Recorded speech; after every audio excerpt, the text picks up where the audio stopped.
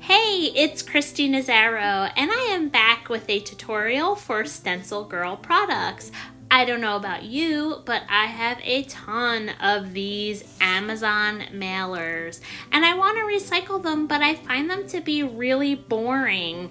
Um, I wanted to jazz them up a little bit. I love to send happy mail and why not recycle and use my stencils to create really fun mailers. So the first step that uh, you want to do is you want to take some acrylic paints and go ahead and start to paint the front and the back of the recycled mailer.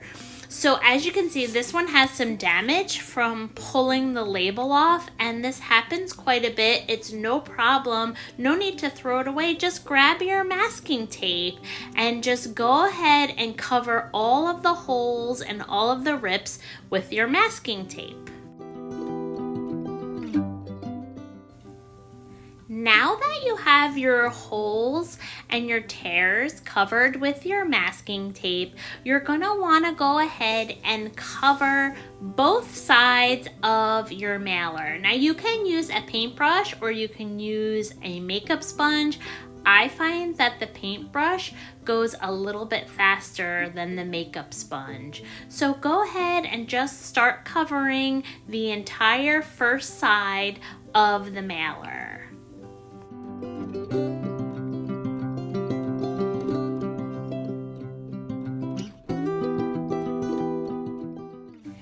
Now that you have that first side covered, you can go ahead and switch to your next mailer and allow this side to dry.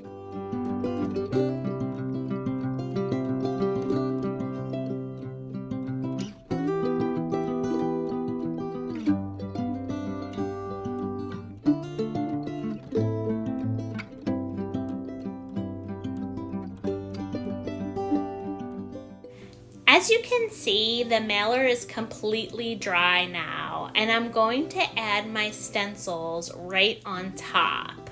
Um, you really want to make sure it's dry, so because if you lay the stencil on top, sometimes that pulls the paint off if it's still wet when you go to remove your stencil. I just received a new shipment of stencils from Stencil Girl, so I'm going to use the Making Waves stencil. And I chose rather non-traditional colors for the outside, but I really wanted this mailer to pop. I love bright colors, and I'm just gonna go ahead using a makeup sponge and pounce the paint through the stencil and I'm going to cover the entire one side of the mailer.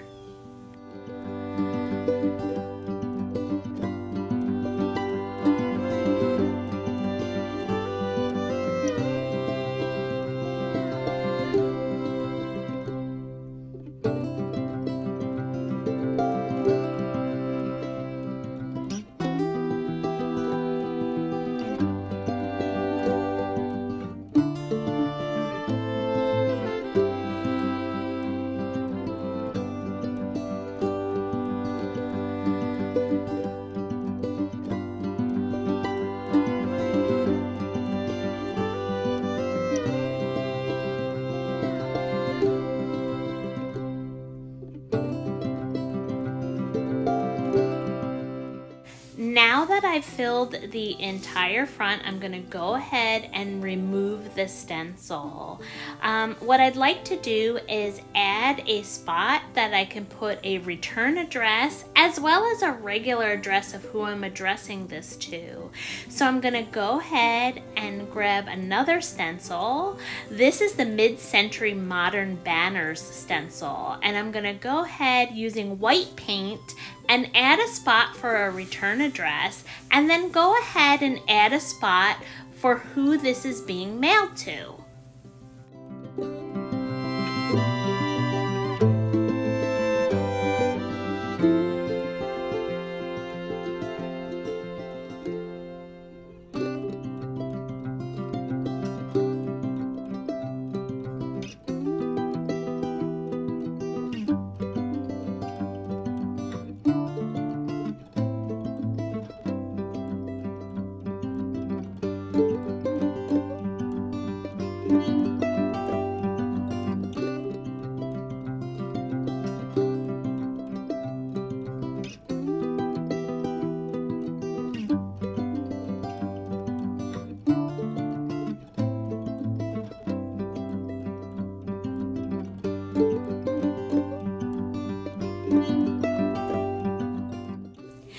That I have my boxes, I'm going to go ahead and grab a few Posca markers and just outline these little boxes to highlight them and make them pop off of the mailer.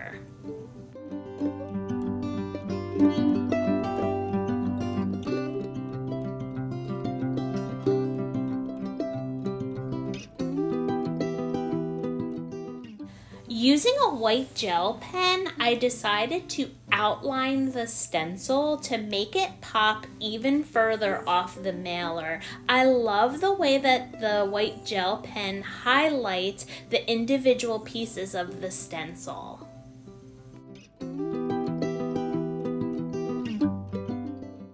And there you have it. This is the finished piece as you can see, I added some additional stencils within the stencil. I added the repetition stencil and then I took my sewing machine and I actually stitched around the edges. I also uh, added some dots and um, some other line work just to make the stencils pop. Now this was another mailer that I had used and I actually, it was a very big mailer. So what I did was I went ahead and stenciled, but then I cut it into pieces to make them a little smaller. I used a white china marker and, and added some additional marks and stitched around the edges with my sewing machine just to give it a little extra dimension and color.